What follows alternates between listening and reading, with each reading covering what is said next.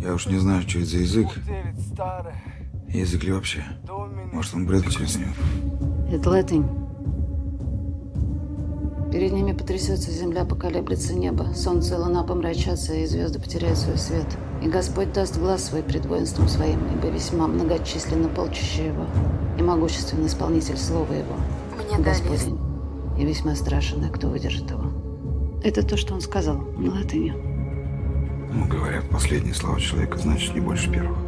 Это Ветхий Завет, пророчество о втором пришествии.